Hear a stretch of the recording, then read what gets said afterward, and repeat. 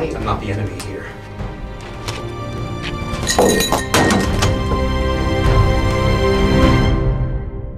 You're never gonna believe this.